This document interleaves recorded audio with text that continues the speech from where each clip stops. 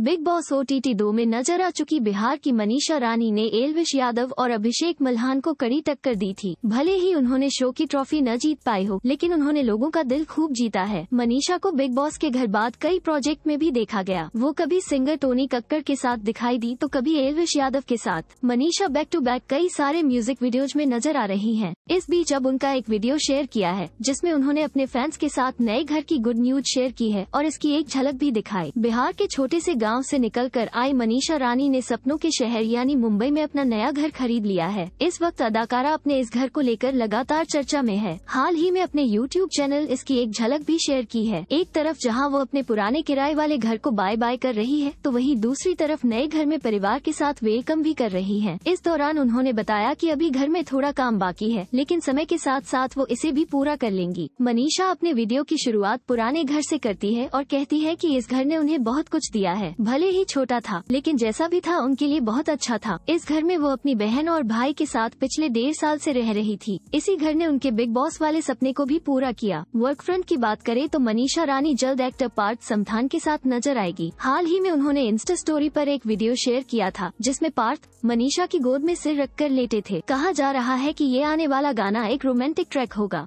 दोस्तों, अगर आपको हमारा वीडियो अच्छा लगे तो उसे लाइक करें, शेयर करें। और ऐसी ही दिलचस्प जानकारी पाने के लिए हमारा चैनल फॉलो करें।